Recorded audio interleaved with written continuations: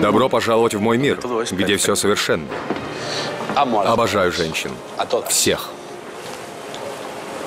Почти всех. Здесь заканчивается секция женской одежды, мое царство. По другую сторону коридора находится мрачное царство мужской одежды.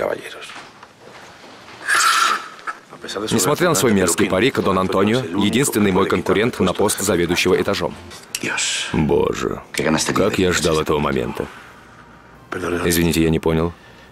Все очень просто, Рафаэль. Ты уволен. Идеальное преступление. Криминальная комедия. 5 апреля в 22.30 на ОТВ.